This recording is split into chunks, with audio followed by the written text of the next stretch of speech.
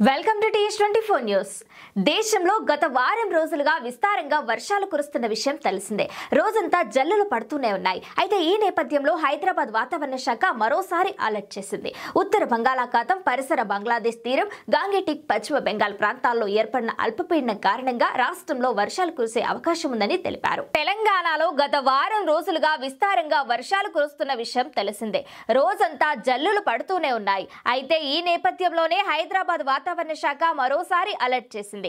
ఉత్తర బంగాళాఖాతం గాంగేటిక్ పశ్చిమ బెంగాల్ ప్రాంతాల్లో ఏర్పడిన అల్పపీడనం కారణంగా రాష్ట్రంలో వర్షాలు కురిసే అవకాశం ఉందని తెలిపారు.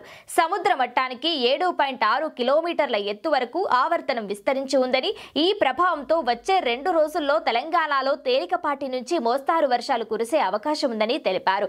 ముఖ్యంగా జగిత్యాల భూపాల్పల్లి కామారెడ్డి కరీంనగర్ మంచిర్యాల ములుగు నిర్మల్ నిజామాబాద్ పెద్దపల్లి రాజన్న సిరిసిల్ల వరంగల్ హన్మకొండ జిల్లాలకు మోస్తారు వర్ష సూచన ఉందని వాతావరణ శాఖ తెలిపింది. ఈ ప్రాంతాల్లో ఈదురుగాలతో కూడిన భారీ నుంచి అతి భారీ వర్షాలు కురిసే అవకాశం ఉందని తెలిపారు. గంటకు ముప్పై నుంచి నలభై కిలోమీటర్ల వేగంతో ఈదురుగాలు వీచే అవకాశం ఉందని వాతావరణ శాఖ హెచ్చరించింది. ఇక హైదరాబాద్తో పాటు మరికొన్ని జిల్లాలకు అధికారులు రెడ్ అలర్ట్ను కూడా జారీ చేశారు. భారీ వర్షాలు కురిసే అవకాశాలున్న నేపథ్యంలో ప్రజలు అప్రమత్తంగా ఉండాలని సూచించింది. గత ఇరవై నాలుగు గంటల్లో కొమరంభీం ఆసిఫాబాద్ జిల్లా చింతల మానేపల్లిలో అత్యధికంగా ఐదు పాయింట్ ఏడు ఆరు సెంటీమీటర్ల వర్షపాతం నమోదైంది.